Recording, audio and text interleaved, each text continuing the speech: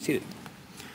We will hear argument this morning in Case 23-235, the Food and Drug Administration versus Alliance for Hippocratic Medicine, and the consolidated case. General Prelogar.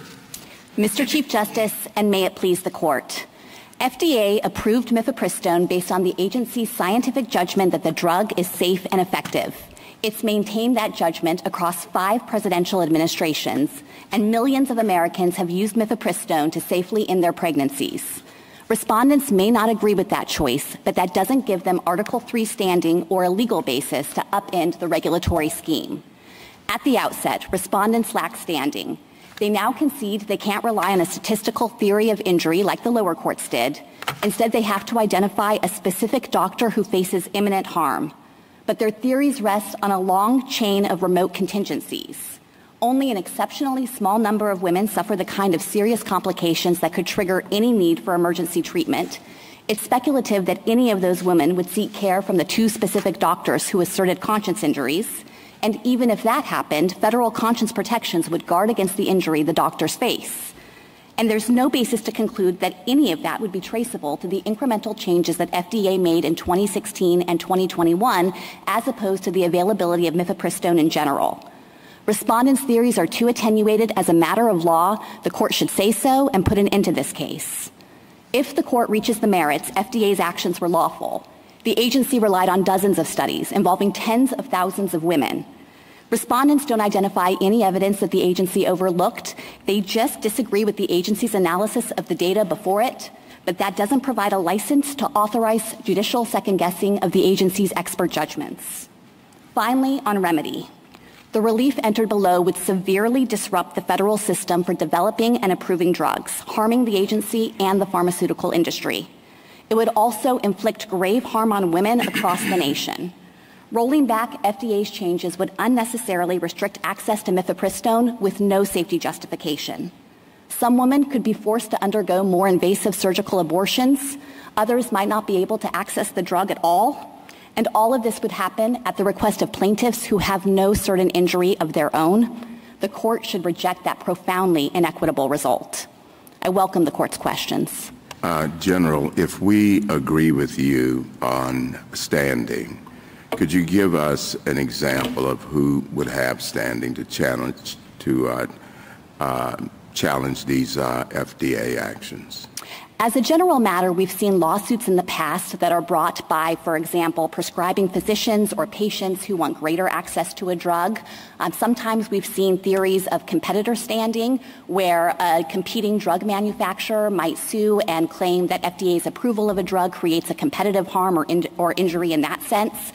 Uh, you know, Justice Thomas, I think that if the question is whether there would be individuals who generally oppose abortion who would have standing and want to challenge FDA's actions, the answer to that is no. But the reason is because those people aren't regulated in any relevant way under FDA's decisions here. You know, take these respondent doctors. They don't prescribe mifepristone. They don't take mifepristone, obviously. FDA is not requiring them to do or refrain from doing anything. They aren't required to treat women who take mifepristone. FDA is not directing the women who take the drug to go seek out care from these specific doctors. And so they stand at a far distance from the upstream regulatory action they're challenging. And the court has said in, in many cases that in a situation like that, when you are not the direct object of the agency's regulation, it can be substantially more difficult to establish standing. But isn't that sort of a criticism of some of our associational uh, standing cases and organizational standing cases? I don't think it is for a couple of different reasons. With respect to associational standing, this court has said time and again that the association needs to identify a specific member who is suffering a concrete harm, a cognizable injury that's non-speculative. And I don't take respondents now to take issue with that fact. They're agreeing that it would be necessary to come forward and identify a specific doctor.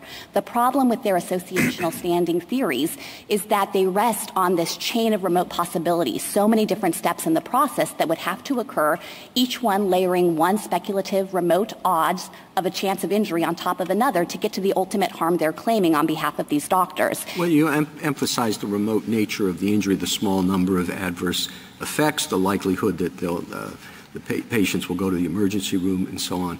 Um, is there a number at which your uh, argument would would change? the significant number uh, of consequences, a higher likelihood of an emergency room visit, uh, uh doctors who uh, uh, spend more time in the emergency room. At, at, at some point, does this analysis lead to the other result? It's hard for me to imagine that it could, and, and there are a couple of different reasons for that. I take the point that you might pick out different links in the chain and suggest that there are ways to wildly depart from the facts here and suggest maybe as a statistical matter, one or two of those events could be probabilistically more likely to occur.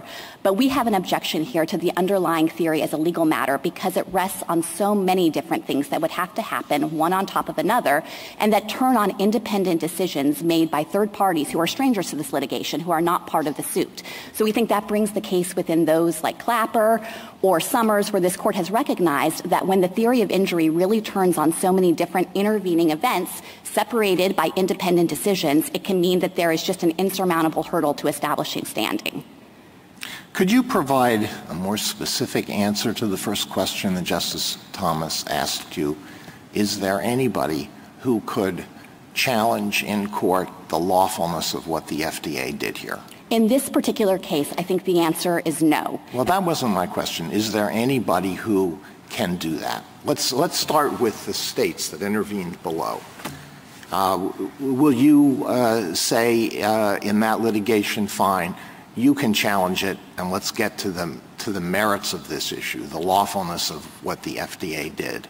No, we think the states lack standing. They're asserting indirect injuries that would, if it provided a basis for standing, mean that states could always sue the federal government. And the court cautioned against that result in United States versus Texas, footnote three of that decision. Okay. How about a, a doctor who opposes abortion? So she's on duty in an emergency room when a woman comes in with complications from having taken mifepristone and the doctor is the only one there uh, on duty who can attend to this woman's problem and as a result in order to save her life the doctor has to abort a viable fetus. Now would that doctor then have standing to seek injunctive relief or would you say that's too speculative? This was like being struck by lightning and there's no uh, it's not sufficiently likely that this is going to happen to this doctor again. We would agree that that would represent past harm, so we're not disputing that that kind of conscience violation, providing care in violation of one's conscience, would be cognizable. But yes, we think that that situation has never come to pass. Respondents haven't identified any incident in more than 20 years that mifepristone has been available on the market that resembles that kind of hypothetical situation. And so, yes, our view would be it's unduly speculative. And you have to think about all of the events that would have to transpire to get to that moment sure, in no, time. I, I understand the argument. Now, how about a woman who suffers adverse adverse consequences from having taken mifepristone, would she be able to sue for damages? Or you would say that's barred by sovereign immunity? I expect that we would have sovereign immunity arguments in that kind of case. I, re- I recognize that respect, with respect to traceability, that's a harder argument for us. Okay. Is there anybody who can uh, sue and get a judicial ruling on whether what FDA did was lawful? And maybe what they did was perfectly lawful. But shouldn't somebody be able to challenge that in court? Who, in your view? Who would have standing to bring that suit? I think that with respect to these regulatory changes, it's hard to identify anyone who would have standing to sue, but the court has said time and again that the fact that no one would have standing doesn't provide a basis to depart from Article 3 principles. It said that in Raines, in Richardson, in Valley Forge, and in Clapper. And so I think it's clear that even if there is no alternative person here who could sue, that doesn't mean that the court should dispense with the indispensable requirements of Article 3. Uh, okay, I understand that. And Article 3 is important. So your argument is that it doesn't matter if FDA flagrantly violated the law, didn't do what it should have done, uh, endangered the health of women. It's just too bad nobody can sue in court. Certainly no, we think that there's no remedy. The American people have no remedy for that. Well, I, I, I, think that it would be wrong to suggest that if FDA had made a mistake and a drug were actually producing safety consequences, that there would be nothing to be done. I, I don't think that these respondents could invoke Article 3 jurisdiction to have the court step in, but FDA takes very seriously its responsibility to ensure the safety of drugs. It conducts ongoing surveillance and can make adjustments to the regulatory regime if safety situations emerge. The drug sponsors themselves remain responsible at all times. We have a tort system in this country, and that can help ensure ensure that if there are safety problems that come to pass, the sponsors will take action in reaction to that. So if the premise here is that unsafe drugs could somehow remain on the market, I think that that's incorrect. Mean, so your argument here is, and as I said, uh, I have great respect for Article 3. We all do. We have to comply with it. But your argument here is that um, even if the FDA acted unlawfully, uh, nobody can challenge that in court. And that's basically the argument you made last week, right? In the Murthy case, we shouldn't get to the question whether the White House and others violated the right to freedom of speech. We should just say, well, these plaintiffs can't bring suit, right? We, we are looking at the specific respondents in this case and their theories of standing. We don't think they come within 100 miles of the kind of circumstances this court has previously identified of non-speculative harm that can create the kind of cognizable injury for forward-looking relief. I'm assuming that if there were an un, if this had been unsafe in a grossly visible way, you know, 40% more increased hospitalizations, that some doctor who was prescribing it would have challenged the lack of an in-person. Well, no doctor is required, Justice Sotomayor, to dispense other No, but if a doctor who wants to, just like in a doctor who wants to do abortion, we have said if there's regulations that stop them from doing it, I guess that doctor could come in and say, um, this is unsafe. I can't, uh, by not having people visit me um, beforehand, we're not warning them, et cetera, et cetera.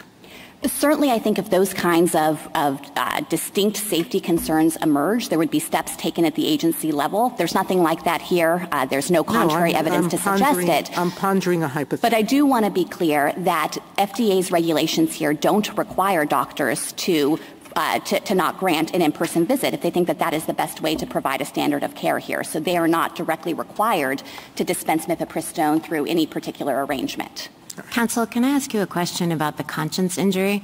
So that's one of the roadblocks you identify in the speculative chain because you say a doctor could invoke federal conscience protections to refuse to um, complete an abortion that was when the, the embryo or fetus was still alive. Um, so I just want to be clear. The federal government's position is that their doctor would have conscience objections. I'm thinking about the EMTALA litigation, and the Fifth Circuit criticized the government's inconsistent positions. But it is your position that such doctors would have recourse to the conscience protections of federal law. Yes, absolutely. And, and, let me be clear about this because I think the Fifth Circuit did fundamentally misunderstand our arguments and respondents have repeated that misunderstanding here. The federal government has never taken the position that EMTALA would override an individual doctor's conscience objections. We said exactly the opposite. If you go and look at our Fifth Circuit reply brief in the Texas litigation, we disclaimed that understanding of EMTALA and made clear that we understand the conscience protections to continue to apply and shield the doctor who doesn't want to provide care in violation violation of those protections. Would that be true in a healthcare desert as well? Yes. So we don't think that EMTALA would override conscience protections for the individual doctor. It, of course, imposes obligations on hospitals, and hospitals have all kinds of plans in place to address these types of contingencies. You know, they have staffing plans. I understand as a matter of best practices, they often ask for doctors to articulate their conscience objections in advance so they can take account of that in staffing. They have cross-staffing agreements with other hospitals. And in the government's experience enforcing EMTALA, this is almost four decades of experience, we are not aware of any situation where there has been that kind of direct conflict between EMTALA and conscience protection. Okay, and just one last question. This is about the association standing. So its own standing in its own right. I'm talking about not its standing that base, is based on an injury to one of its members. So the um, injuries that the association is arguing sound in the Havens Realty associational standing, and they're the kinds of allegations we see by immigration advocacy groups diversion of resources, increased expenses um, that result from the complications of having to address and explain the new changes. And I'm not talking about the expenses of filing the petition. That's not what I'm talking about. Let's just talk about the diversion of resources. Can you distinguish that from Havens Realty?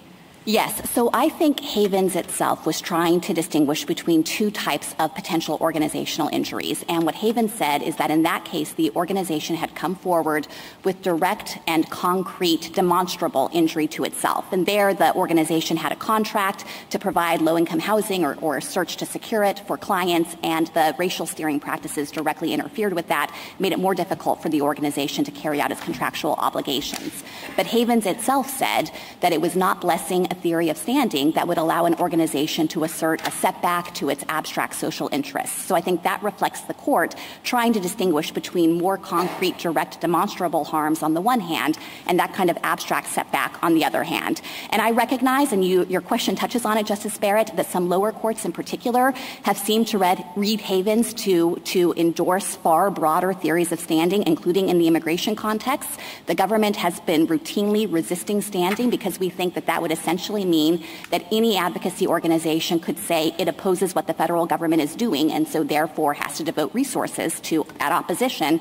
If that were enough, then every organization would have standing and it would be a vast expansion of ordinary Article 3 principles. So we would welcome an eventual clarification from this court on organizational standing, but here I think that the organization's assertion of injury falls in the bucket of the abstract setback and doesn't come close to the kind of demonstrable harm that was at issue in Havens. General, that's the, I'm sorry. I'm done. Okay. That, that, that's a helpful clarification. I, would like a, a, similar clarification. Thank you.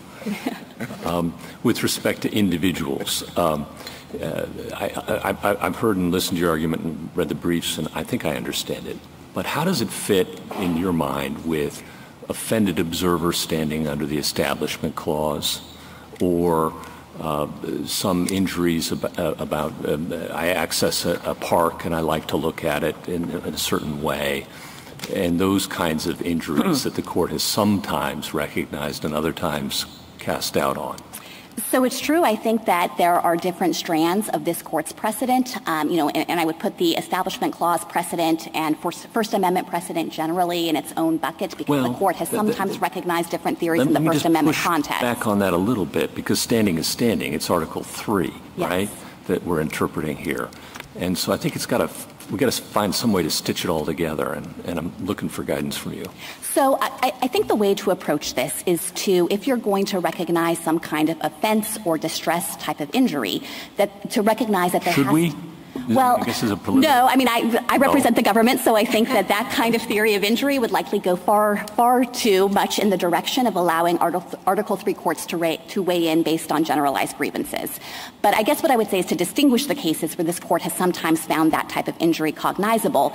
Generally, it's in a situation where there is a kind of direct governmental action producing that type of injury. And here, our argument is that the FDA's actions in approving mifepristone, specifically in 2016 and 2021, in, if you're looking at that, which was an incremental change, is so far upstream of the downstream assertion of harm or distress that the respondents are asserting that there is just as a matter of law an attenuated link here that cannot suffice for Article 3 jurisdiction. Thank you. Thank you, counsel. Justice Thomas, anything further? Justice Alito? Oh, you say that the, the Fifth Circuit didn't give any reason to think that the three changes made in 2016 would be more dangerous in combination than they were individually. But isn't that, isn't that obvious that three things that may be innocuous or not excessively dangerous if engaged in by themselves may become very dangerous when they're all done together? And why shouldn't the FDA have addressed that? I think the only way that that would be true would be if the three changes are interconnected and mutually reinforcing, guarding against the same kind of safety risk. So I agree that if there were a reason to think that the, the reason why mifepristone is safe up to 10 weeks gestation is because it's being prescribed by doctors instead of nurse practitioners, for example, then those changes would be interconnected because one change would effectively be the safety net for another. But there was nothing like that in this record. The studies that FDA examined instead demonstrated that these changes, and it was an exhaustive examination, were safe not because there were other different safeguards in place to guard against risks, but rather because if you go up to 10 weeks of gestation, there is no observable increase in serious adverse events, no matter who's prescribing. So in the absence of that kind of correlative effect of the changes, I don't think you can fault the agency for not giving even more explicit attention to this issue. And it did. It cited multiple studies that combined multiple changes precisely because the standard of care had evolved evolved over the 15 years mifepristone had been approved, and many of the changes were already being deployed together safely. Shouldn't the FDA have at least considered the application of 18 U.S.C. 1461? So I, I, think that the Comstock provisions don't fall within FDA's lane. FDA under the FDCA can only maintain restrictions under the REMS program if it's necessary to ensure safe use. In 2021, what FDA determined is you don't need in-person dispensing for safe use, so the FDCA did not independently require that REMS restriction, and in fact, it couldn't be imposed once FDA had made that determination. Now, that doesn't affect other sources of law. FDA was not affirmatively approving mailing in violation of Comstock, even if you interpreted it that way, and we don't think it means what respondents suggest it means. But at the very least, I don't think that it was FDA's responsibility to consider that, nor could it have permissibly considered that under the statute. Well, it didn't say any of that. It didn't say anything about it.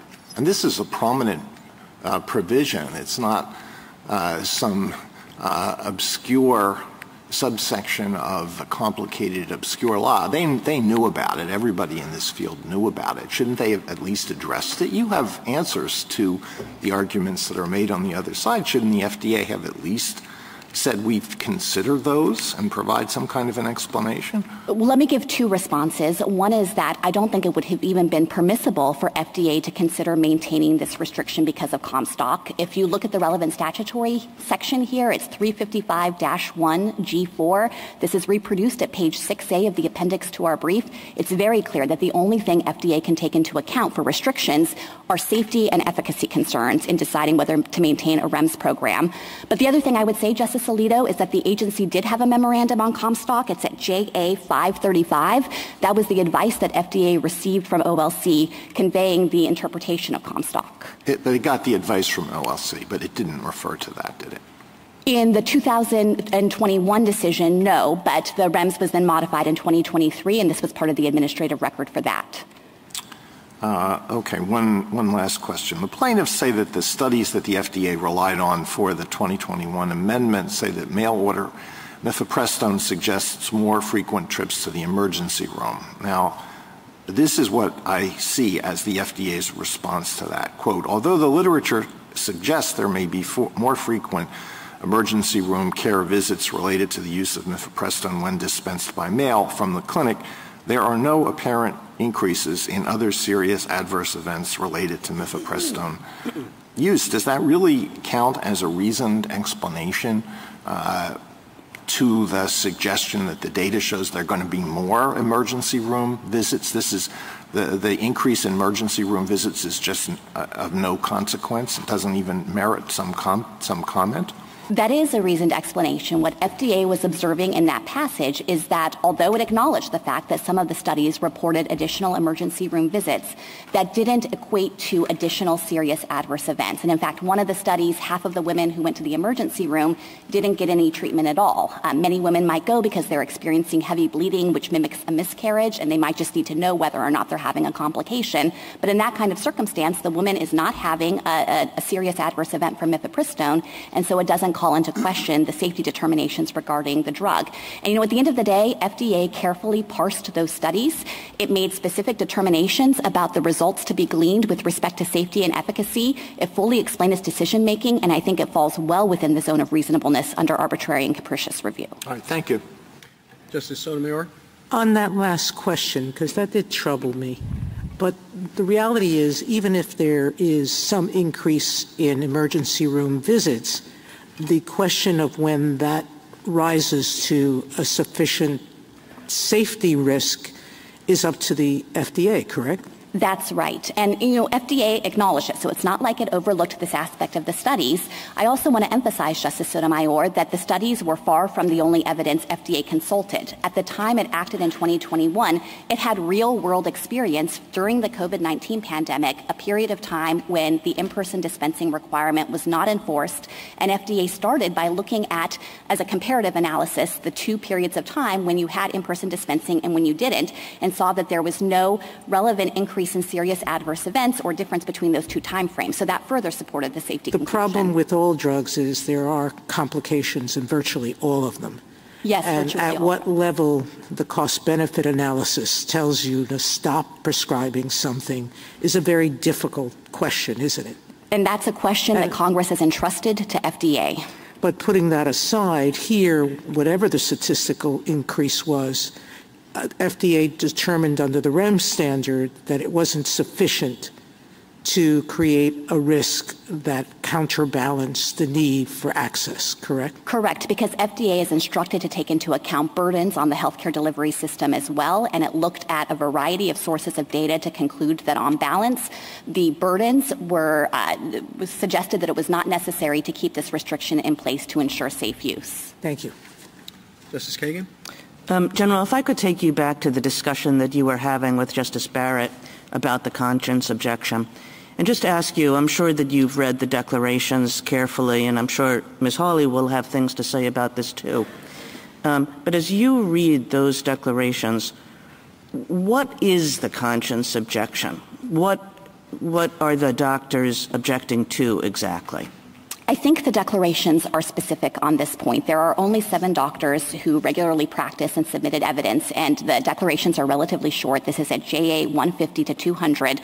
I encourage reading them because there are only two doctors out of the seven who even provide any information about their specific conscience objections. Those two are who? Those are Dr. Skop and Dr. Francis. The relevant language for the other five don't refer to conscience objections. They don't refer to their own conscience objections or provide any specific detail about exactly what care would violate their conscience. Dr. Francis is at JA 155. Dr. Skop is at JA 167. Both describe the injury in the same terms. They object to ending the life of a human being in the womb and fear that they might have to uh, complete an abortion for a woman who has an ongoing pregnancy. So, as you understand those declarations, they do not object to providing whatever care is necessary to a person who may have complications from taking mifepristone. In other words, for example, suppose um, somebody has um, bled significantly, needs a transfusion, or you know any of a number of other things that might happen. As you understand the declarations, there's not an objection to that.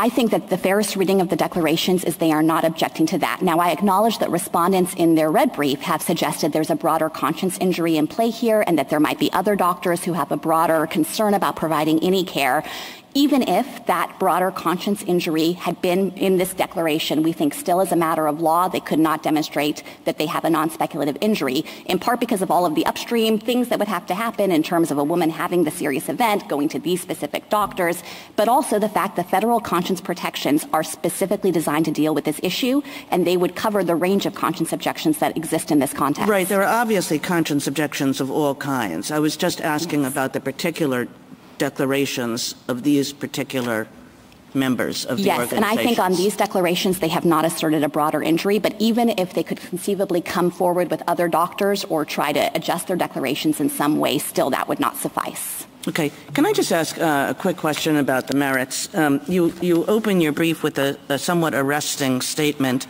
um, but it starts with to the government's knowledge. And this was written a few months ago, and since then I'm sure that you've had lots of time to think about this case and to get all background information on it. So I'll just read you this uh, sentence and ask you whether it's still true uh, to the government's knowledge. To the government's knowledge, this case marks the first time, and I'm going to say, is it, is it the first time? Is it the only time? Uh, any court has restricted access to an FDA approved drug by second guessing FDA's expert judgment about the conditions required to assure that drug's safe use. Is it still the only time? That is still, to our knowledge, the only time a court has done that. Um, we have seen a disturbing trend of courts sometimes also overriding FDA's judgment to try to grant greater access to drugs when that overrides FDA's expert judgment about what's necessary to ensure safe use. And no matter which direction you come at it from, we, on behalf of FDA, think that courts have no business making those judgments in the absence of the kind of arbitrary and capricious error that would satisfy the APA. Thank you. Justice Gorsuch? Justice Kavanaugh? Just to confirm uh, on the standing issue, under federal law, no doctors can be um, forced against their consciences to perform or assist in an abortion, correct? Yes, we think that federal conscience protections provide broad coverage here. Just to be super precise, there are some triggering requirements of receiving federal funding and so forth. We've cited the relevant provisions at page five of our reply brief. The church amendments have the most comprehensive protection here, and we think that those amendments guard against the kind of injury that respondents are asserting. There are also state law protections that often apply in this context. Thank you. Justice Barrett? Would that be true even if the declarations were interpreted as respondents do to say that they regard any participation, even transfusions or D&Cs after the abortion is otherwise complete because tissue needs to be removed? Yes, I think that would be true. So the most relevant Church Amendment provision is 42 U.S.C. 300A-7D, and its language says that a doctor shall not be required to perform or, is, or assist in any part of the healthcare program that would violate the doctor's religious or moral beliefs. So it's tied to the nature of the doctor's beliefs rather than particular procedures.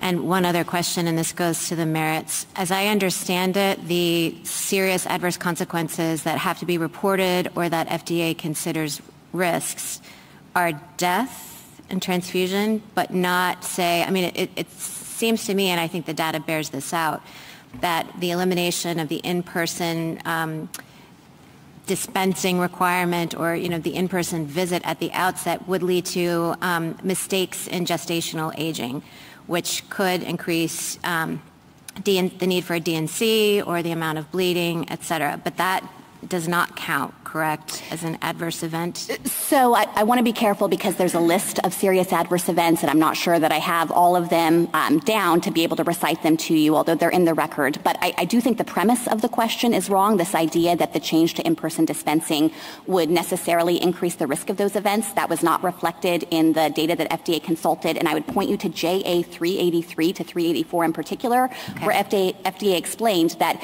even in person, you're not necessarily getting an ultrasound ultrasound. That's never been required.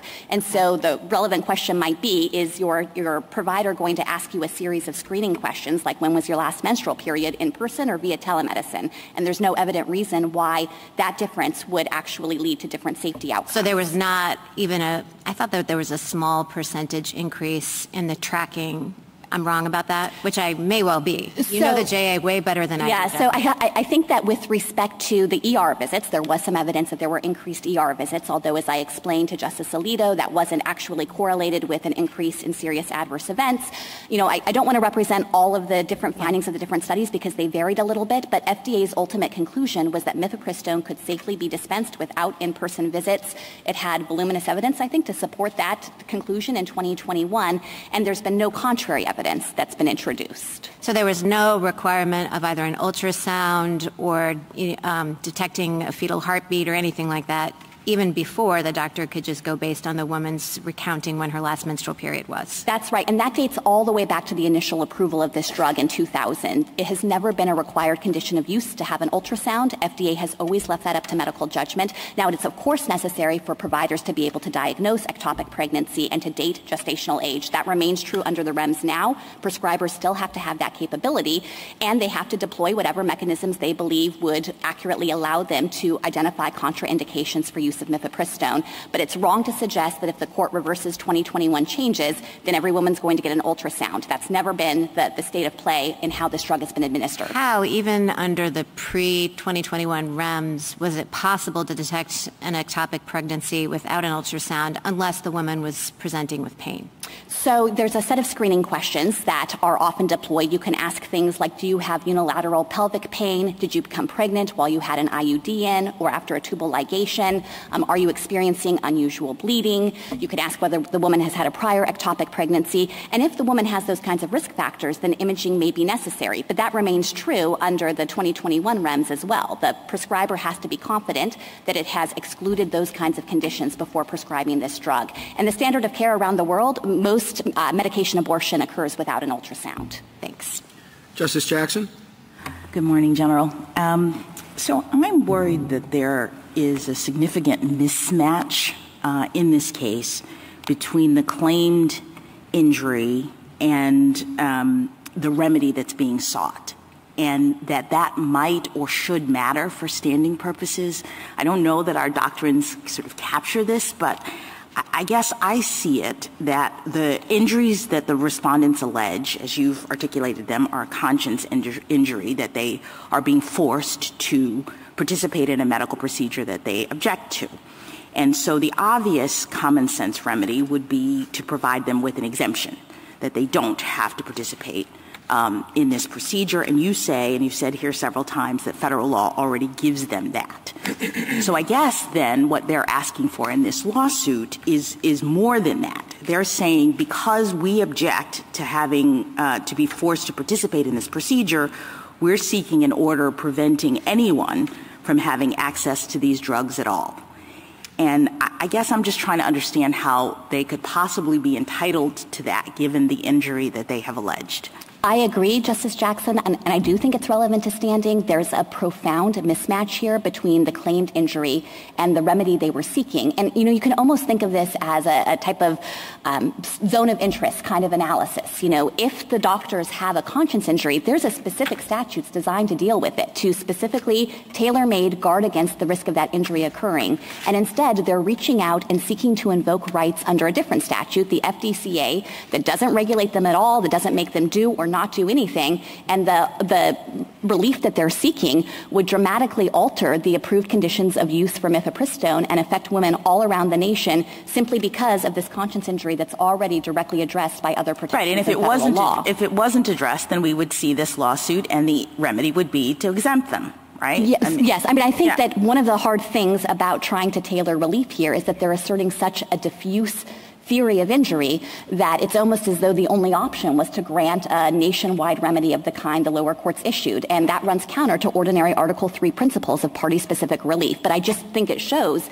that there's something wrong with the theory of injury in the first place because it's so attenuated and because they claim they would need so much relief all over the country. Let me ask you another question. Um, in addition to the challenges that we have here, the respondents um, below challenged the FDA's initial decision to approve mifepristone in, in the year 2000. Um, of course, that occurred a very long time ago. Um, the Fifth Circuit found that that challenge wasn't timely uh, because of the statute of limitations. As, as you're aware, in the context of another case we heard this term, the court is currently considering the statute of limitations issue. So setting aside standing, have you thought about how a ruling from this court on the statute of limitations in either direction might impact what happens uh, in these kinds of cases with these kinds of challenges? Yes, I, I, think that it just reflects the stakes of the corner post case and provides a vivid example of the way that it might be possible if this court were to approve the request for a broader theory of the statute of limitations in that case, the way it could open the door to plaintiffs coming in and saying, well, I only became a doctor later, or I only started working in an emergency room later, and would try to unsettle uh, longstanding agency actions that maybe occurred decades previously. I do want to say that I understand the corner post petitioner to have suggested maybe there would be equitable defenses that the government could raise in those kinds of cases. We would certainly want to raise that type of de- defense with respect to the approval of mifepristone, which I think has generated tremendous reliance interests and proven to be safe and effective over decades of use. Thank you. Thank you, counsel.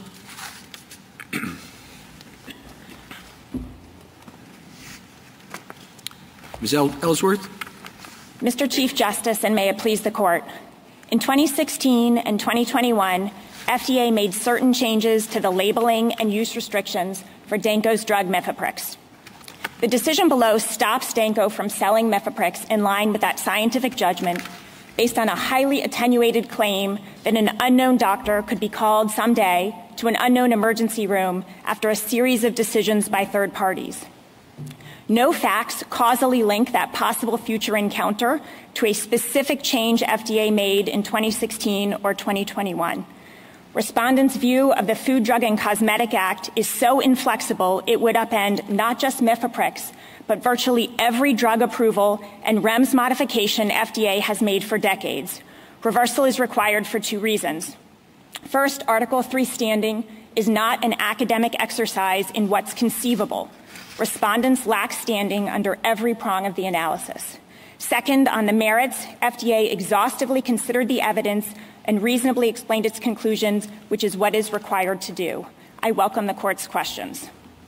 Uh, the government, um, the Solicitor General uh, points out, would not be susceptible to a Comstock Act uh, uh problem. Um, but in your case, you would be.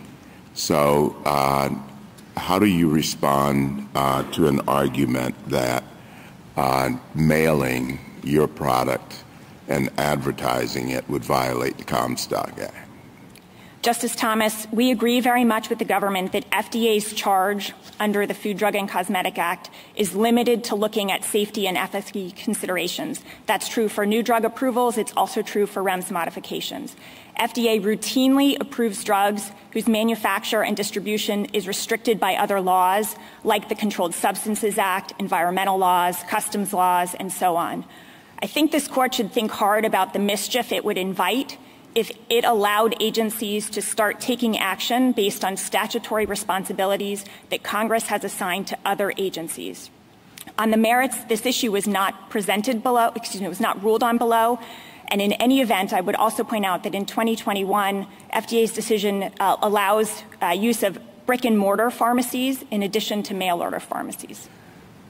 Well, my problem is that you're private.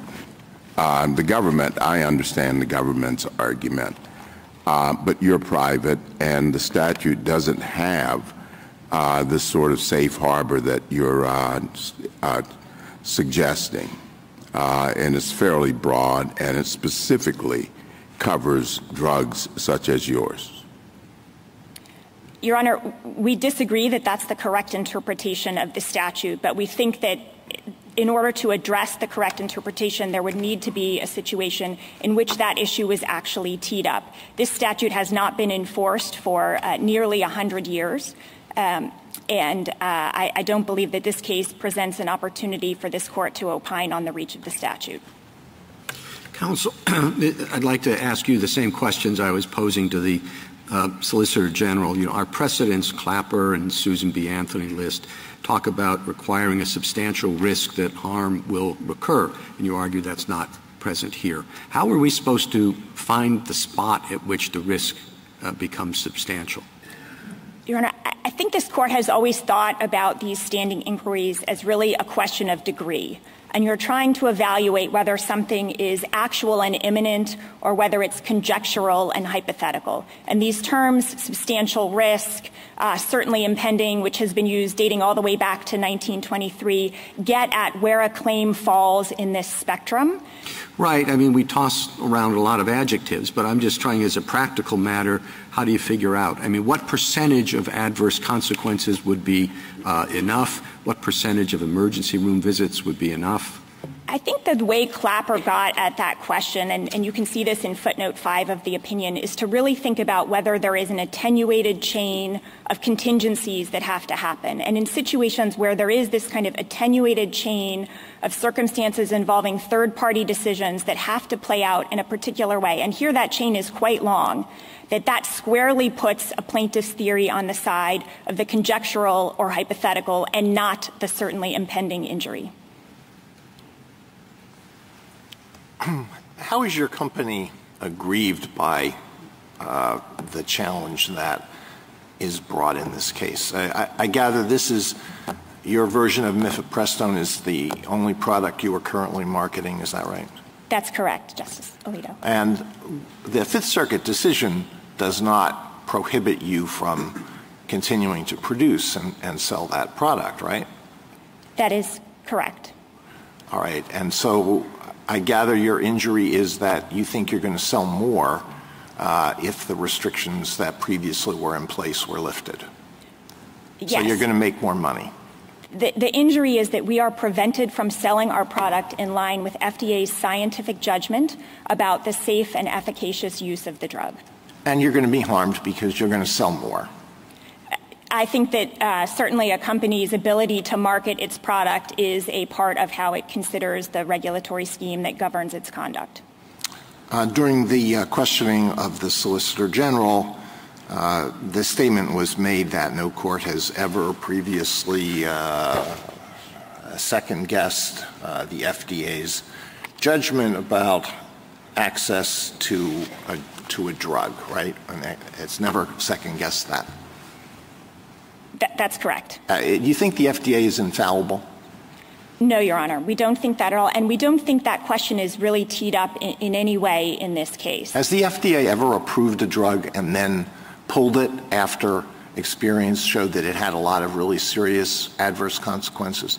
It, it, has certainly done that. And, Your Honor, I think that underscores why the adverse event reporting, the post market uh, surveillance that FDA does, the ability that these plaintiffs have, even if they don't have standing, certainly if there are if they are seeing patients who are presenting with adverse events, if they are doing studies that show there is some unknown safety component that FDA should acknowledge, they can take significant steps to bring that to the agency's attention, to bring that to Danco's attention. But don't you think the FDA should have continued to require reporting of non-fatal consequences? Your Honor, the FDA decided not to continue that reporting requirement in 2016 based on more than 15 years of a well-established safety profile when that reporting was required. There is no drug on the market today under any REMS that requires the kind of reporting that the plaintiffs are saying should be reimposed here.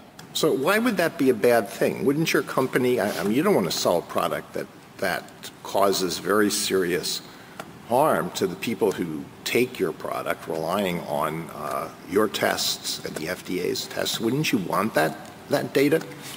Your Honor, th- that data is certainly something that um, we are looking for all the time. It is part of the reporting obligations for a manufacturer to be aware of any data that's becoming available through any means. We have a 1-800 number on our website. There's a 1-800 number on the labeling. I think Your Honor's question, though, gets at concern I heard in some of the earlier questioning about who would have standing um, if these plaintiffs don't have standing. And one of the things I want to note is that drug manufacturers are very frequently subject to tort litigation product liability suit, failure to warn suits, uh, deceptive advertising suits when someone is claiming harm from a pharmaceutical manufacturer's product. What is so, I think, uh, revolutionary really about the, the arguments here, both on standing and the merits, are the way that they attempt by individuals who do not use this product, do not prescribe this product, and have a conscience right not to treat anyone who has taken this product.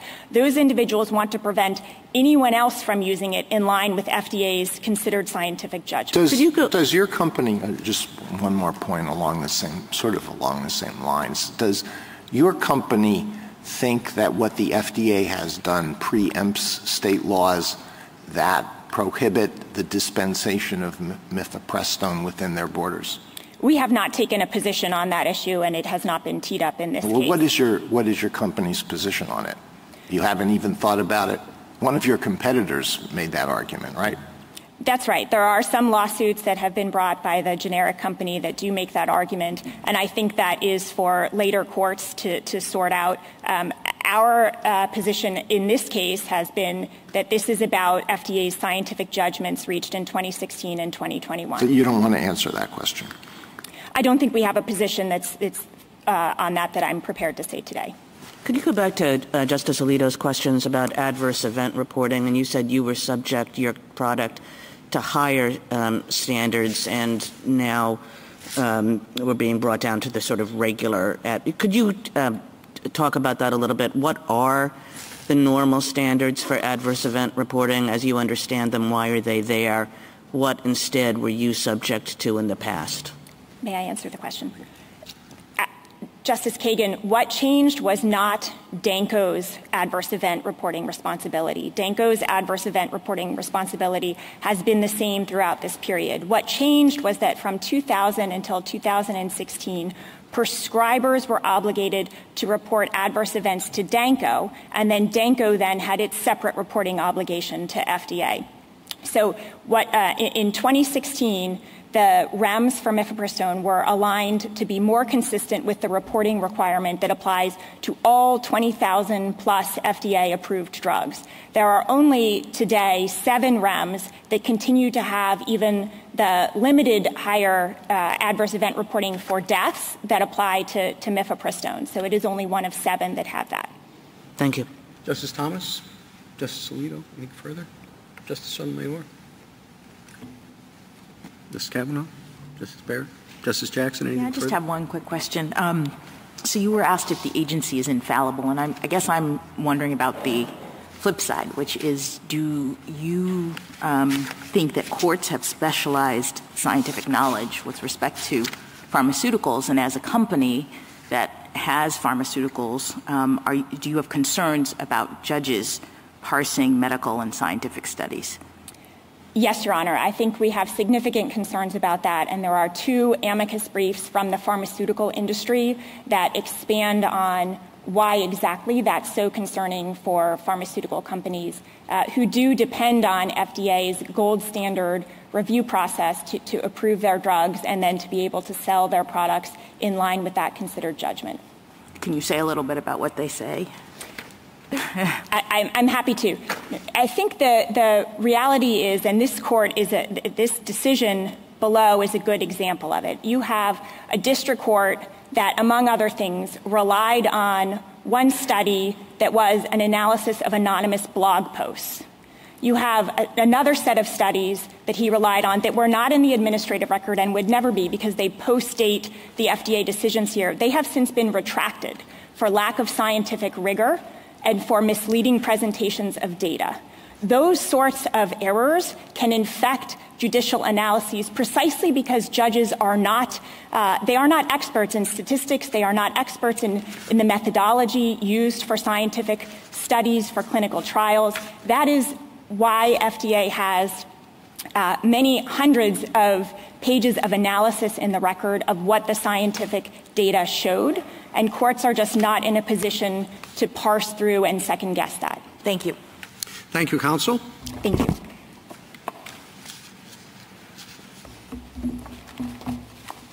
Ms. Hawley? Mr. Chief Justice, and may it please the court. FDA approved abortion by mail based on data it admitted was, quote, not adequate. That violates the APA. The lower court's decision merely restored long-standing and crucial protections under which millions of women used abortion drugs. We've heard a lot this morning about standing. Article 3 is satisfied here because, one, the FDA relies on OB hospitalists to care for women harmed by abortion drugs. Two, the FDA concedes that between 2.9 and 4.6 percent of women will end up in the emergency room and three, the FDA acknowledges that women are even more likely to need surgical intervention and other medical care without an in-person visit. According to Guttmacher, nearly 650,000 women take mifepristone every single year.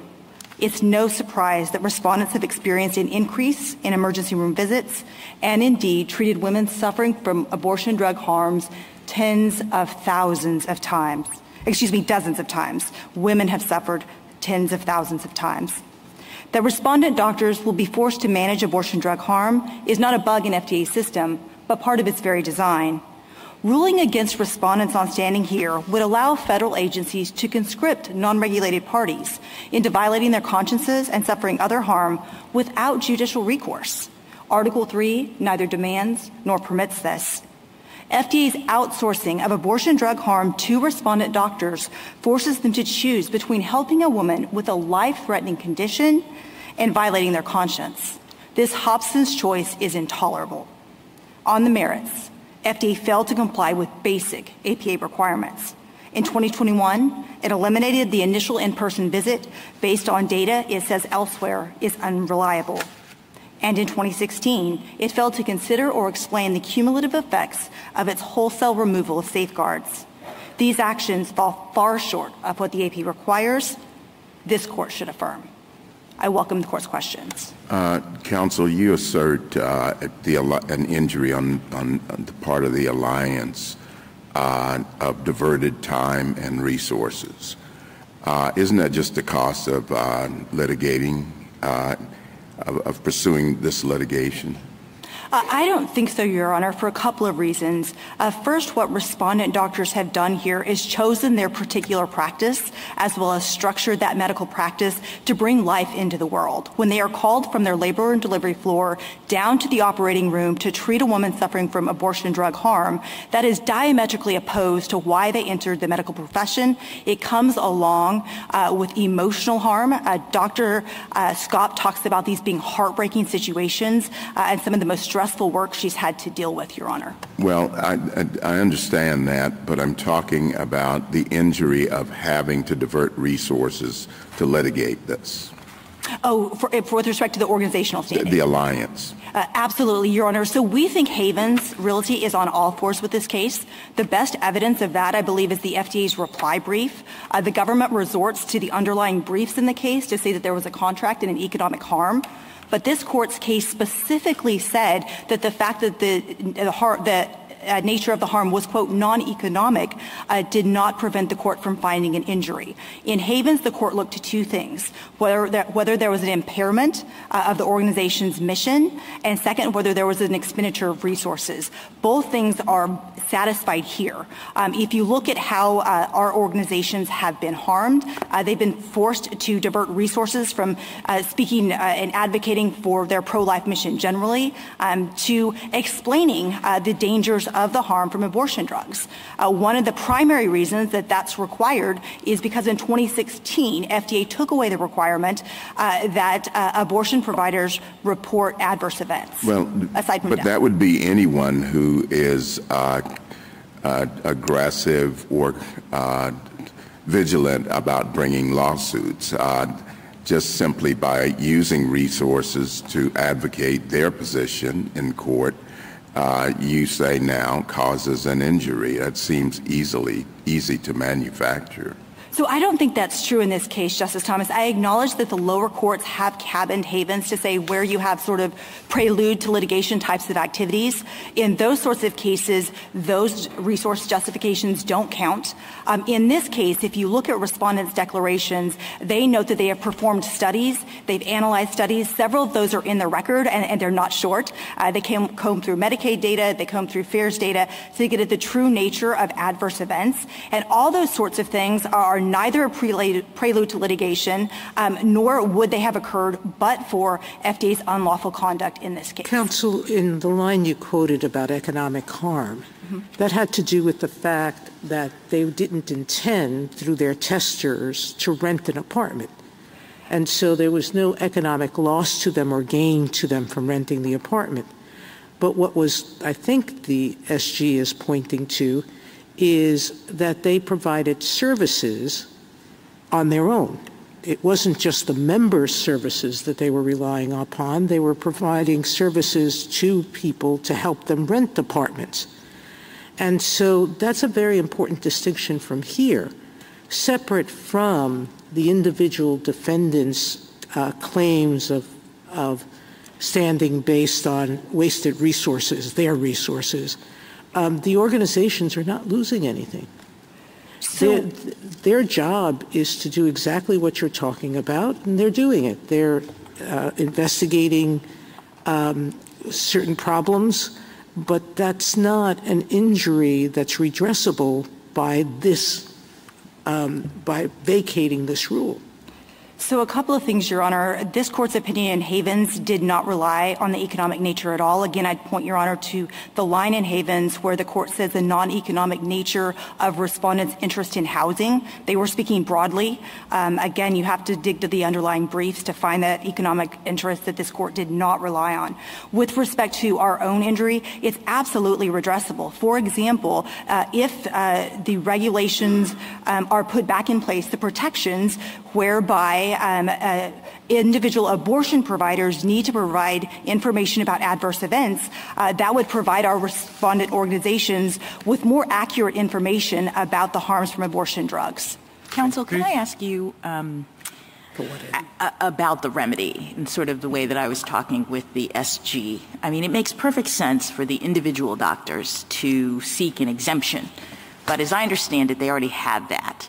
Um, and so what they're asking for here is that in order to um, prevent them from possibly ever having to do these kinds of procedures, everyone else should be prevented from getting access to this, medication. So why isn't that um, plainly overbroad uh, scope of the remedy the end of this case?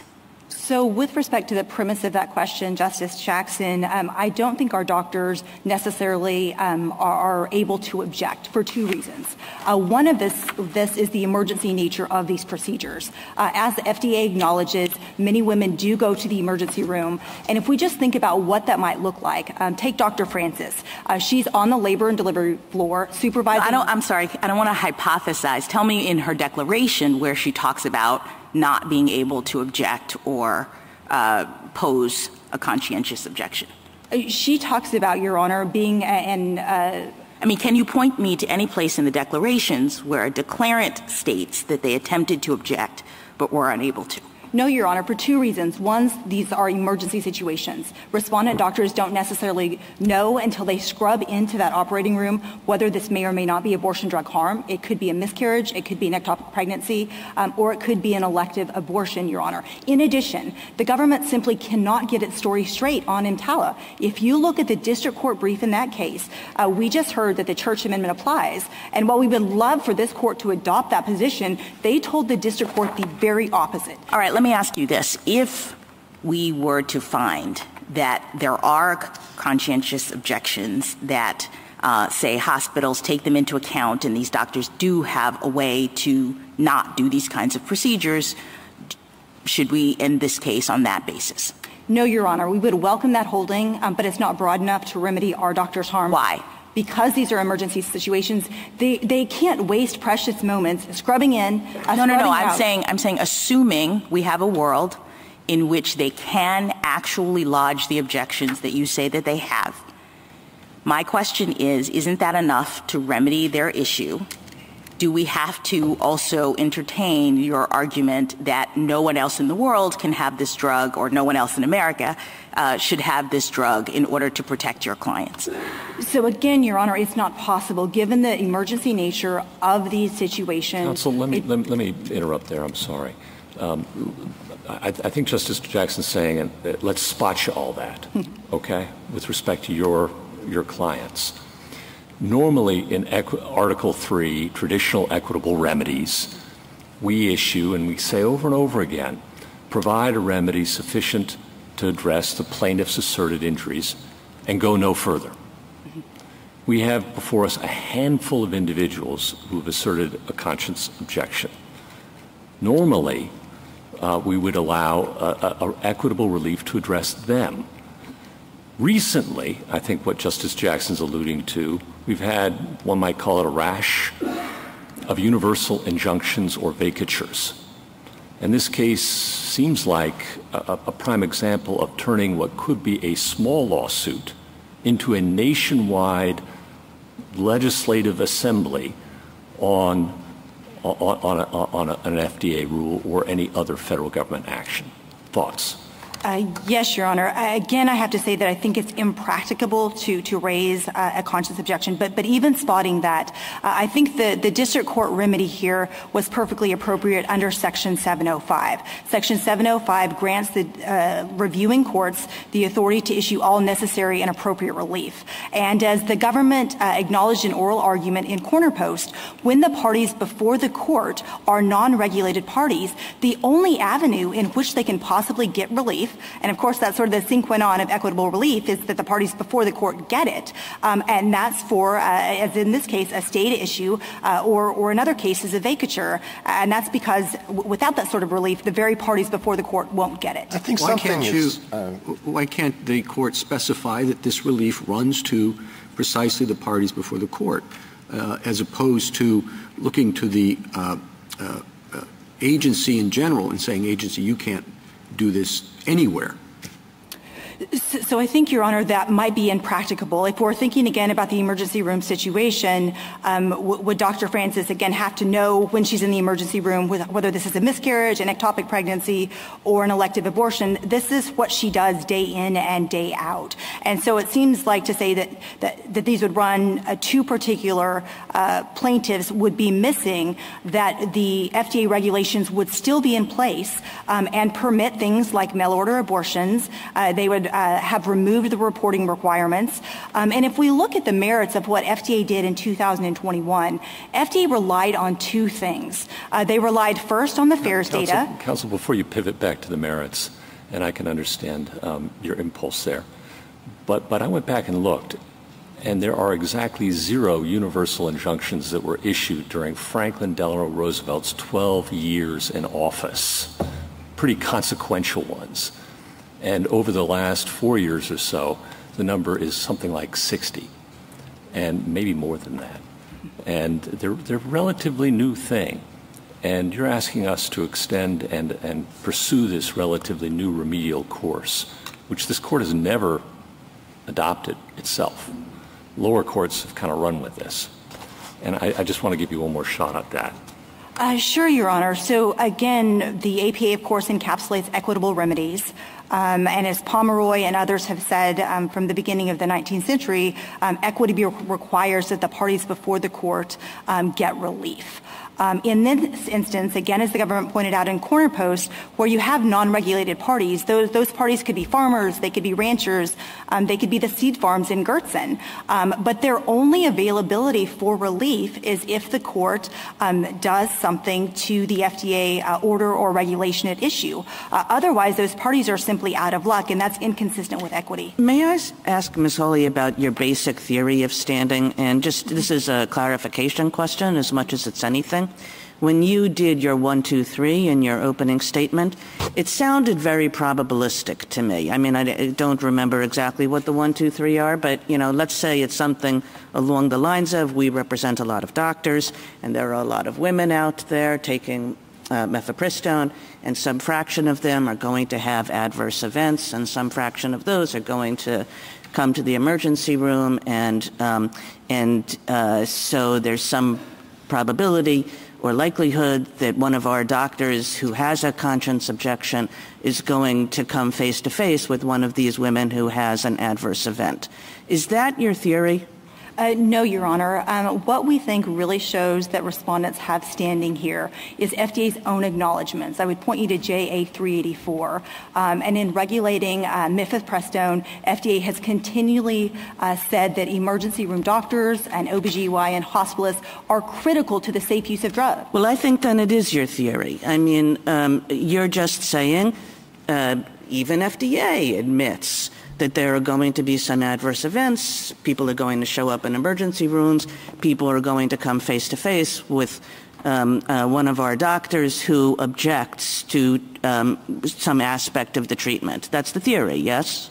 Well, we certainly think all of that is true, um, but we don't think it's a problem with probabilistic standing, as was the case under Summers for three reasons. Uh, first, Summers uh, involved unidentified members. Here we have seven named plaintiffs. Um, in addition, and no one in Summers, at least that was still part of the case. So does your theory really depend on your having at least one person? Because I take Summers to be saying these probability theories, they sound very nice. They have nothing to do with our Article 3 requirements.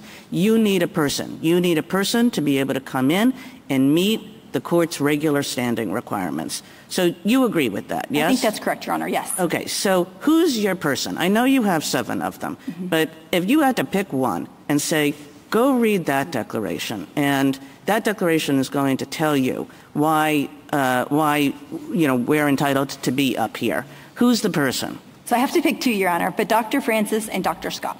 Okay, and what about um, those two doctors gives you the kind of imminent injury, let alone the traceability, that we've typically required?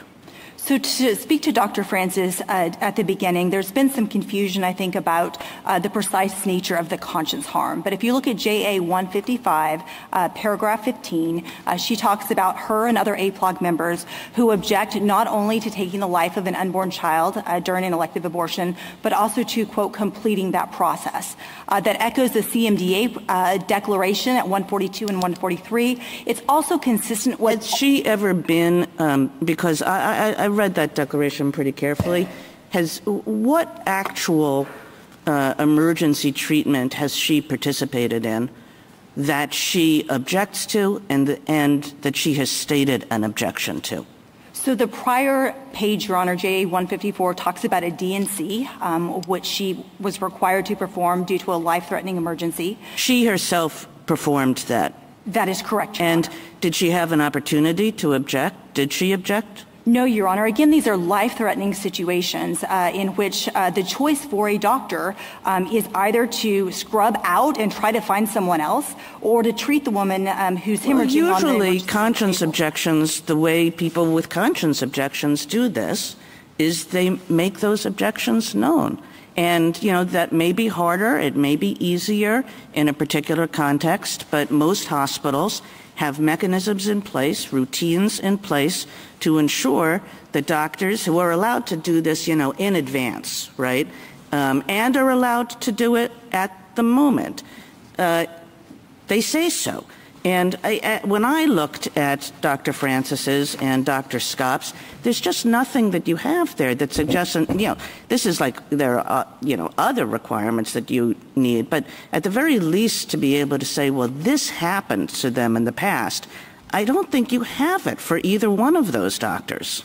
So I, think we do, Your Honor. Given the emergency nature, it's simply impracticable to have a uh, objection lodged prior to understanding what's going on in that operating room. And again, I'd point Your Honor to the District Court Fifth Circuit brief in EMTALA, where the government says that neither the church nor any of the other sponsors of those federal conscience protections intended them to apply in emergency situations. So it's a lot to ask our respondent doctors to go up to the top floor and litigate this with the general counsel when the federal government government's telling them they don't have a conscious protection.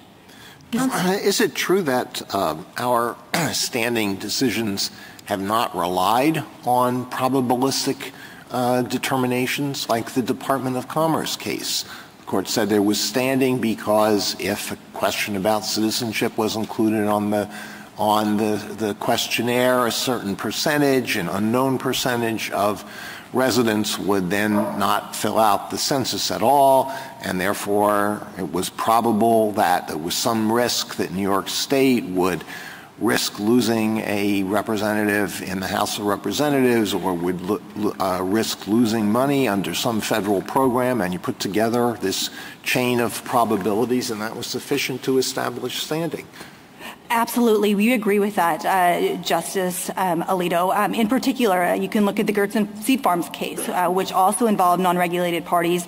And this court looked at the distance that bees might fly in order to pollinate seed farms. So it's certainly true that data is appropriate to consider in determining whether there's a substantial risk under uh, SBA list. Here, the FDA admits, and this is at 533, that between 2.9 and 4.6 percent of women will go to the emergency room. It acknowledges acknowledges, this is at 542, that up to 7% of women uh, will need surgical intervention. Um, and when the FDA talks about there being no increase in adverse events from the increased gestational age, the only way they can say that uh, is by ignoring surgical interventions. And that's because uh, at JA 207, uh, the FDA. Counsel, what do we do with the fact that these two people that you reply, um, rely on, uh, Francis and Scott, that Indiana and Texas have abolished um, abortions and abolished them by pills or otherwise. Now, we can get into whether other people are illegally breaking the law and supplying it contrary to law, but what does that do to your probability? Which is, it's already infinitesimally small because there are thousands of hospitals in the country, 50 states, I don't know how many territories, thousands and thousands of, of, of uh, places where pregnant women go who may be suffering from uh, miscarriages or otherwise, um, to know or to even imagine how one doctor is going to ever actually see a patient that it's going to be that he or she is going to be forced to um, intervene on their behalf, but then add to it that this is illegal in these states. So I think the best answer, Justice Sotomayor, is that past is prologue. In our declarations, we have three doctors who have treated harms from abortion drugs at least a dozen times. We have two examples when women went out of state. Um, and if you go out of state, there's a higher likelihood you're not going to have a follow-up visit. Um, what the FDA's regime has done is turn ER rooms into those follow-up visits. Um, we've had that happen with both Dr. Jester, where a woman went to New Mexico and returned to Texas, as well as Dr. Johnson, where a woman went to Illinois and returned to Indiana. Indeed, according to Guttmacher, one in five abortions take place out of state um, in surge states like New Mexico, like Illinois, the border states uh, in which our doctors reside. Ms. Hawley, can I take you back to the affidavits and some of Justice Kagan's questions? Um, you were talking about Dr. Francis. And as I read her allegations, or her, her, as her affidavit reads, she said that her partner was forced to perform a D&C when there was a living fetus. And she said she performed a D&C on a woman who was suffering serious complications. But the fact that she performed a D&C does not necessarily mean that there was a living embryo or fetus, because you can have a D&C after, you know, a miscarriage. So if that's right, I mean, it, I think the, the difficulty here is that, at least to me, these affidavits do read more like the conscience, the conscience objection is strictly to actually participating in the abortion to end the life of the embryo or fetus. Um, and I don't read either Scott or Francis to say that they ever participated in that. So do you want to address that? Sure. So, so first, Justice Barrett, I, I, think Dr. Francis's combined with CMDA can be read for the broader conscience harm. Again, that's how the district court understood that. I'd point you to pages seven and eight. That's how both the state panel and the Fifth Circuit uh, understood respondents' conscience harms to extend beyond uh, simply uh, uh requiring the, the, ending of an unborn life. Um, and with respect to, to even the more narrow conscience harm, to whether a doctor may need uh, to end a life, uh, we think there's still a substantial risk of that occurring occurring. Um, if you look at the numbers of the increase from 7 to 10 weeks in gestational age, that means that 3.1 percent of pregnancies will be ongoing, uh, requiring a D&C. Um, we know at JA, or excuse me, ROA 870, um, that 55 percent of those uh, D&Cs occur in the emergency room. This is a substantial number of women uh, suffering abortion drug harm. Um, again, uh, Guttmacher says 650 thousand women took the drug in 2000. But not all those D&Cs will involve a pregnancy that would otherwise be viable or an embryo or fetus that would otherwise be living because you can have complications or excessive bleeding even after the abortion is complete in that respect, but there's pregnancy tissue remaining. So with the 3.1, Your Honor, is ongoing pregnancy. Is ongoing yes. pregnancy. And, and, FDA says at JA 542 that up to 7% uh, will need uh, surgeries to stop either bleeding or uh, ongoing pregnancies or failures. How many members of your organization? You have a broad number of, you know, doctors that are in your organization. I gather dentists, some doctors who are retired. How many members of your organization are OBGYNs who practice in hospitals who might be called into these ERs? Uh, th- there are hundreds of them, Your Honor, but, but I think, may I finish? Sure. Uh, I think in particular that the named plaintiffs um, are uh, OBGYN hospitalists who spend most of their time on the labor and delivery floors, but also are called to the OR to treat these sorts of emergencies. Ms. Hawley, can you clarify the um, broader conscience harm from the narrow one? Because I had understood the conscience harm as Justice Barrett does, but you suggest that there's a broader one. So what, what is that? Uh, yes, Your Honor. I'd point you to pages 7 and 8 of the district court opinion. Um, and the district court understands uh, the conscious harm to be either taking the life of an unborn child, um, which would sometimes be required. Dr. Francis testifies to a partner who was required to do that because of emergency situations. Um, That's what I understood the narrow one to be, right? I'm participating in a procedure that is ending the life. Yes. I think that's, that's Okay, yes. so what's the broader one? So, so, the broader one, Your Honor, is being complicit um, in the process that unnecessarily leaves, uh, uh, takes an unborn life, such as performing a D&C and abortion. And it's really not that hard to, to uh, see. Uh, no, wait, I'm sorry. Complicit like I'm, I work in the emergency room and this is going on. I'm handing them a water bottle. I'm like, what do you mean complicit in the process? So, so this court, of, ta- of, course, takes religious beliefs and conscience beliefs yes. as, it, as, it finds yes. them. Um, but what uh, harms our doctors, uh, Your Honor, is, is, being involved in completing, in the terms of our declaration, an elective abortion. And, and, it's really not that hard to see why that might be a conscience harm if you think about what's involved in a But D&C. you just said again, it's being involved in completing an elective abortion. So I took that to be the conscience objection. I think what Justice Jackson is asking, or what I asked before, or what Justice Barrett is, is there any broader conscience objection that appears, I don't, I'm not sure I care all that much about the district court, but that appears in the declarations. Uh, yes, Your Honor. And, and, in this sense, completing an elective abortion means um, removing an embryo fetus, whether or not they're alive, as well as placental tissue. Again, Dr. Francis talks about being required to perform a D&C. This is at 154 so and remove placental tissue. Whether or not there's any live tissue. Yes, Your Honor. And again, this makes sense. And where are we looking for that? So I would point Your Honor to JA 155, paragraph 15, where again she talks about completing an abortion. Uh, the CMDA declaration at pages 142 and 143 also describe this sort of complicity um, harm uh, from being involved in, an elective uh, abortion, Your Honor. And again, these doctors performing a uh, must scrape out a, woman's uterus of, a child, of the embryo, the fetus, or placental tissue. And this court has recognized harms like that in cases like Little Sisters of the Poor um, as well as Hobby Lobby. It, may I? No, go ahead. It's sorry. It's my understanding that sometimes um, the completion it doesn't involve surgical intervention. Do you have a sense of how often? I mean, we, we may get all the way down the chain to the doctor is there, the person is having an emergency procedure. My understanding is with some of these um, uh, chemical abortion scenarios, the completion occurs by prescribing additional medication. Um, do you have a sense of how many times the completion is that route and could be done by another physician as opposed to your clients in doing a, a medical procedure? So, so that second dose, Your Honor, of misoprostol has been part of the regimen since 2016, really I think all the way back to 2001, but, but it's been approved by FDA since 2016. Um, so the best numbers we have from FDA are still consistent with that, and that means that 3.1% of pregnancies at 10 weeks will be ongoing.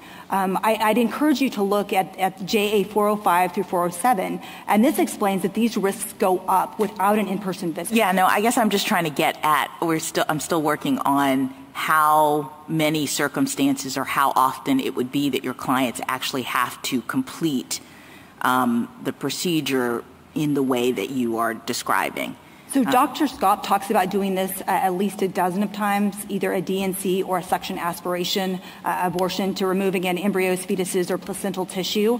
Um, in addition, Your Honor, if you think about uh, the numbers, again, it says 3.1% um, at uh, 10 weeks, and this has only gone up. In 2020, um, FDA told this court that the in-person visit was both, quote, necessary and minimally burdensome, and necessary to preserve women's health, um, precisely so these sorts of situations occur less frequently. Thank you, counsel. Justice Thomas. Uh, Ms. Hawley, the um, I uh, I'm sure you heard the answers of the Solicitor General and uh, the counsel, counsel for Danco with respect to the Comstock Act. Uh, I'd like you to comment on their answers. Sure, Justice Thomas. We don't think that there's any case of this court that uh, empowers FDA to ignore other federal law. Um, with respect uh, to the Comstock Act is relevant here. Uh, the Comstock Act says that drugs uh, should not be mailed uh, through the, either through the mail um, or through common carriers. Uh, so we think that the plain text of that, Your Honor, is pretty clear. Uh, when did you first raise the Comstock Act? So I believe the Comstock Act was first raised uh, at the district court, Your Honor, um, but we think that exhaustion does not apply for two reasons. Uh, first, it would be plainly futile as FDA's uh, adoption of the OLC memorandum goes. Um, in addition, this is a whole other kettle of fish, um, but if you look at Section 704, adoption, or excuse me, exhaustion is only required in two instances, either when required by a statute or when by an agency rule when that agency rule is stayed pending litigation. This is consistent with this court's case in Darby. The, the lower courts have taken conflicting opinions, uh, but we think the better reading of Section 704 is that there's no exhaustion required unless either a statute or agency rule um, uh, stays the proceeding during judicial review. Justice Alito? Justice Sotomayor? Justice Kagan? Um, May I ask about your view of traceability? And, you know, on, on, on one understanding, and I want you to tell me if you agree with this, that even beyond proving whatever injury you're trying to prove, that you have to show that that injury is traceable to the 2016 and 2021 FDA actions that you're challenging. And of course, that means um, showing that uh, these incidents that you're talking about in the emergency room are caused by whatever incremental increase in risk there is as a result of those 2016 and 2021 actions. And I guess my first question is, do you agree with that statement of what you need to show? And if you do, um, how do you uh, satisfy that? Why do you satisfy that? So we believe, Justice Kagan, under the case law, that, that we need to show that, that each the 2016 action and the 2021 action increase the risk of harm. Um, and we think the way... But then I guess what I'm saying is that you have to link whatever injury your um, members have to that increased risk. Do you agree with that? We do, and we think we can do that for a couple of reasons. Uh, first of all, traceability, of course, is de facto. We're not in the Palsgraf sort of world of, of tort causation. Um, and when you look at the 2021 action, we think traceability is satisfied by FDA's own words. It says at JA 405 uh, that without the in-person visit, this is the anger study, uh, in-person without that in-person visits, ER and other medical care is likely to increase, as well as surgical interventions. And these are the very same surgical surgical interventions that harm respondent clients. So um, there might be some dispute between the two of you as to exactly how big the increased risk is. But let's even take your view that there is, you know, some measurable increased risk. How do you connect that risk to particular actions that your members have, um, to particular injuries that your members have undergone or imminently will undergo? I mean, it could be, you know, the, the, the, the original risk.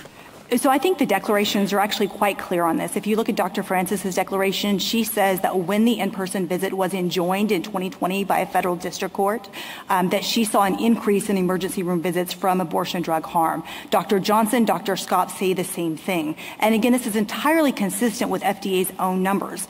Again, in 2020, FDA told this court that the in-person visit was necessary to preserve women's health because an in-person exam, uh, visit is the best opportunity to examine for things like ectopic pregnancy and accurately assess gestational age. Thank you. Justice Gorsuch? Justice Kavanaugh? Justice Barrett? So General Prelogar said that that initial in-person visit did, had no requirement of an ultrasound or you know any effort to detect fetal heartbeat. So it wouldn't necessarily give an accurate read on gestational age or detect an ectopic pregnancy. So why would that necessarily, the eliminate, why would the elimination of the visit necessarily increase the risks? So I think, Your Honor, FDA's own data shows that those risks did go up. Um, if you look at the Kerestes study, um, it shows a nearly threefold increase in emergency room visits when you have uh, the in-person visit and when you removed it. There was 5.8% with an in-person visit, um, and it was also uh, and about 2.1 without. Is that because doctors were just kind of voluntarily saying, hey, it would be a good idea to give you an ultrasound or try to detect a fetal heartbeat, or what?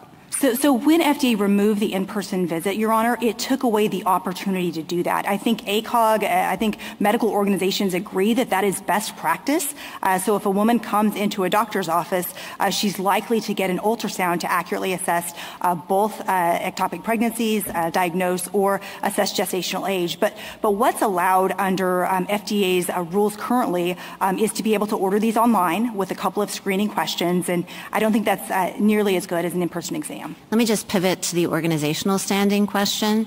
So let's say that I'm just going to carve out and put aside the costs of filing a petition or litigation as harms to your organization itself. Mm-hmm. Explain to me what additional costs you might have incurred or how your resources were diverted in a way that would satisfy Havens. Uh, absolutely, Your Honor. So putting to one side the citizen petition, um, the AAPLOG declaration is clear that respondent organizations uh, conducted studies and analyzed studies. This included going through the Medicaid data. It included going through the FAERS data to the extent it was available. That it? Um, well, well, those studies, Your Honor, I, w- I would point to one of them is at ROA 5 um, excuse me, J- uh, ROA 870 um, and before and after. And those are pretty comprehensive studies, Your Honor. And are they to the end of the litigation and the citizen petition, or what are they to the end of? Uh, to uh, accurately assess the harm from abortion drugs, uh, Your Honor. So I think it's absolutely separate um, from the litigation. And one thing to note with the citizen petition um, is that is the only way uh, in which uh, anyone can raise a, a concern to the FDA. These proceedings go on between Dane um, and the FDA behind closed doors. This is not a notice and comment process. The first time uh, anyone can raise these objections is a citizen petition. Justice Jackson? So, um, what deference, if any, uh, do courts owe the opinion of the expert agency concerning the safety and efficacy of drugs? So under this court's administrative procedure precedents, Your Honor, APA review, of course, is not toothless. Um, instead, um, in this case, uh, we're not asking that the court second guess the agency determinations at all, but rather look at what FDA said. Again, in 2021, when FDA took away the in-person visit, it did so based on FAERS data. It says elsewhere cannot be used to calculate the incidence of an adverse event, as well as studies that says that JA 407 are, quote, not adequate. I guess I don't understand how that scope of review is not second guessing the agency. I mean, they're looking at studies, and you're saying that the court can look at studies, maybe different studies, maybe the same studies, and critique their conclusions about them. So what, what deference do we owe them at all with respect to their assessment that these studies establish what it is that they say uh, they do about safety and efficacy? I don't think that's uh, an accurate portrayal of the, the APA claimant issue here, Your Honor. And the reason being, again, is we're just asking this court to look at what FDA said. Um, the FDCA says you have to have adequate tests and test results, uh, as well as sufficient information. I understand, but didn't the lower courts go beyond that? I mean, representations were made here today that the lower courts actually relied on studies that have since been found discredited and removed. So they were obviously looking at not just what the FDA was looking at in order to make their assessment. So are you asking us to just look at the FDA and not anything else? So, so, yes, that claim is not even before this court. Um, but with respect to the two claims that are before the court, the 2016 and the 2021, we think the FDA's own statements here are, are arbitrary. Um, in 2016, what the FDA said was we're going to look at uh, individual studies, and then even though we say they're interrelated at J298, uh, we're going to take all of the protections away uh, at once. That was arbitrary in State Farm. It would be arbitrary here here as well. Thank you. Thank you, counsel. Uh, rebuttal, General Prelogar. Thank you. On associational standing, Mr. Chief Justice, you asked where do you cross the line to get to a certainly impending injury. One thing the court has looked at is whether that harm has materialized in the past and how often. Now, it doesn't always guarantee there will be a future injury, but it can be a source of information. And here, what is so telling is that respondents don't have a specific example of any doctor ever having to violate this care in violation of their conscience. Instead, respondents have pointed to generalized assertions in the declarations that never come out and specifically say by one of their identified members, here's the care I provided, here's how it violated my conscience, and here's why conscience protections were unavailable to me. The fact that they don't have a doctor who's willing to submit that kind of sworn declaration in court, I think demonstrates that the past harm hasn't happened, and the reason for that is because it is so speculative speculative and turns on so many links in the chain that would have to occur and at the end would be backstopped by having the federal conscience protections in play. On organizational standing, my friend has pointed to the fact that they invested time in preparing their citizen petition. She says they voluntarily conducted studies and then generally refers to diversion of resources. If that is enough, then every organization in this country has standing to challenge any federal policy they dislike. Havens Realty cannot possibly mean that. The court should say so and clarify it is at the outer bounds and respondents don't qualify under that standard. On remedy, Justice Gorsuch, Justice Jackson, you pointed out the striking anomaly here of the nationwide nature of this remedy. Justice Jackson, you suggested maybe a more tailored remedy to the parties protecting their conscience protections should have been entered. The problem here is they sued the FDA. FDA has nothing to do with enforcement of the conscience protections. That's all happening far downstream at the hospital level. And the only way to provide a remedy based on this theory of injury, therefore, was to grant this kind of nationwide relief that is so far removed from FDA's regulatory authority that it's ultimately requiring all women everywhere to change the conditions of use of this drug. And I think it's worth stepping back finally and thinking about the profound mismatch between that theory of, of injury and the remedy that respondents obtained. They have said that they fear that there might be some emergency room doctor somewhere, someday, who might be presented with some woman who is suffering an incredibly rare complication, and that the doctor might have to provide treatment, notwithstanding the conscience protections. We don't think that harm is materialized, but what the court did to guard against that very remote risk is enter sweeping nationwide relief that restricts access to mifepristone for every single woman in this country, and that causes profound harm harm. It harms the agency, which had the federal courts come in and displace the agency's scientific judgments. It harms the pharmaceutical industry, which is sounding alarm bells in this case and saying that this would destabilize the system for approving and regulating drugs. and it harms women who need access to medication abortion under the conditions that FDA determined were safe and effective. The court should reverse and remand with instructions to dismiss to conclusively in this litigation. Thank you, counsel. The case is submitted. The Honorable Court is now adjourned until tomorrow at 10 o'clock.